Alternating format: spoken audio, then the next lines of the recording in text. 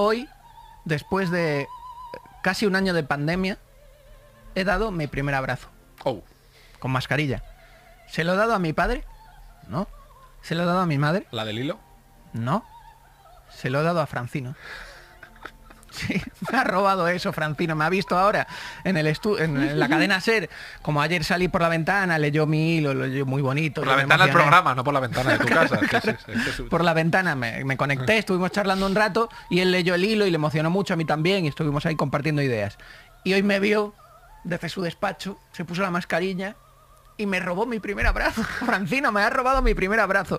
Se lo iba a dar a mi madre y no se lo he podido dar. Tú te has quedado con eso.